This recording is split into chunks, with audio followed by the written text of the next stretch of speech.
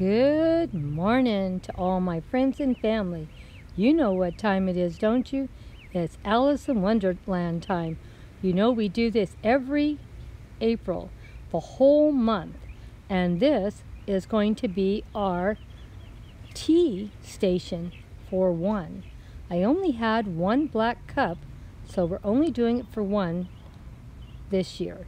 Hopefully next year I can get another black cup and get some beautiful saucers to go with it.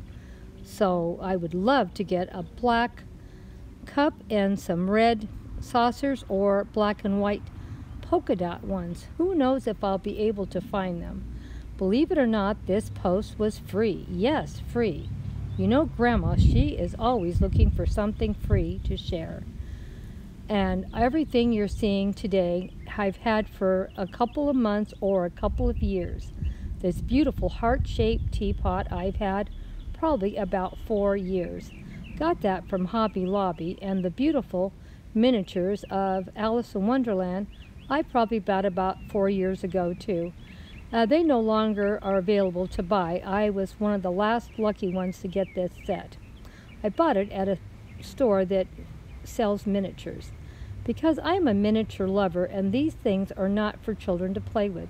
These are collectible miniatures, and Grandma is a collector, as you can see. The teapot is beautiful, and the matching tray was gorgeous. It was also bought at the same time, and I think I paid about $25, and I think originally they said it was 50 I would have never spent 50 for it, but I did when it was for 50% off. And the air plants you are seeing, my girlfriend gave those to me, so they're free and I bought those plant balls or whatever they're called. I bought them last year and the Mackenzie Child herb pots were bought last year also.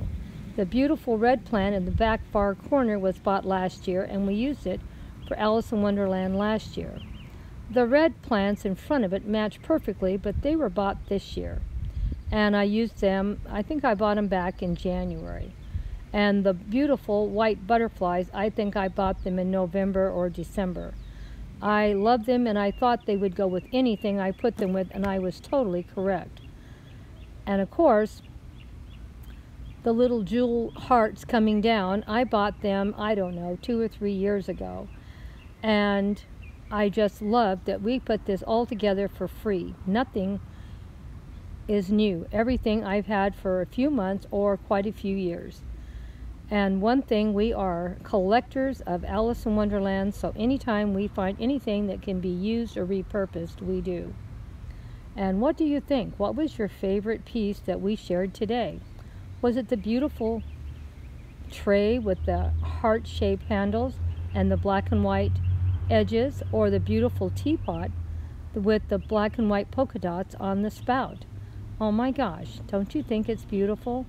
And of course, my daughter did a lot of DIY on that back flower arrangement. She put the playing cards on it. Doesn't it look cute? I thought this was such a wonderful display. What do you think? Did you think I nailed it or I should have done something different? I know a lot of these pieces I've been repurposing because grandma doesn't have a lot of money and she tries to buy high quality pieces and reusing them multiple times does help the cost. Let me know if you thought that's a good idea or not. I'm trying to go more of a high-end pieces for my channel. Even though I don't buy huge amounts of dishes, I do tablescapes for two and I do tea for two uh, or one like today. But I don't want to be spending money all the time. So you see a lot of repurposing on this channel along with we do have themes. This is going to be Alice in Wonderland for the whole month and I hope you enjoy seeing what we're going to share. Look at that teacup on top of each other and the plants coming out and the mushrooms. Don't they match perfectly?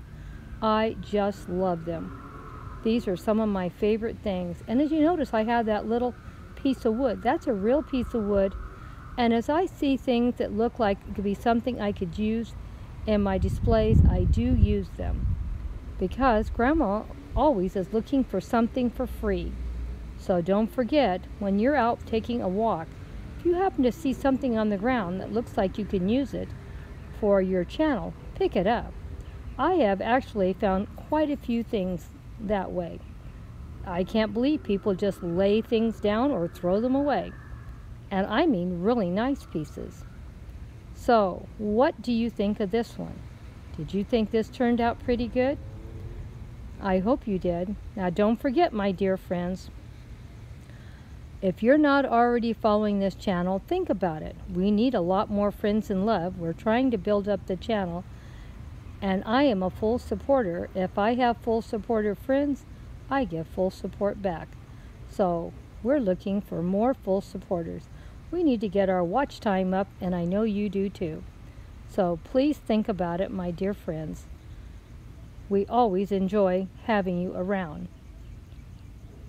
What was your favorite piece? The beautiful white butterflies, Alice and the White Rabbit? I don't know. To me, I like them all. I ask why I buy them. I never just have one thing I love. I usually love everything. Let me know what you think.